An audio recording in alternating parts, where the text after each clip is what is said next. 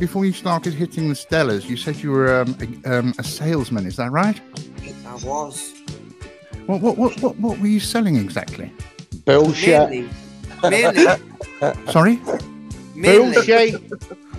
I can't hear what you're people saying. get rudely interrupted, so I cannot answer the questions. What Go on. gamer sells is absolutely 100% It's bullshit. weird. I think, I think he was selling windows, Arthur. He was selling windows. Oh, as well. okay. I mean, I I think think if you came to fine, my house selling double glazing, I'd probably still have single glazing. I'll be honest with you.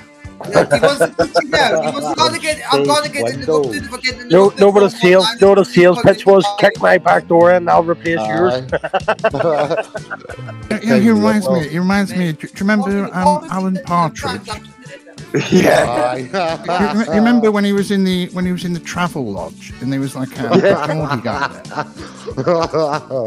That's who he reminds me of. The, the, oh, the Geordie guy who worked at the uh, Yeah, yeah. It's just, you know, men who want someone to talk to, you know, just they're just lonely. and, that, and that's his real voice, but know what I mean? Fucking hell.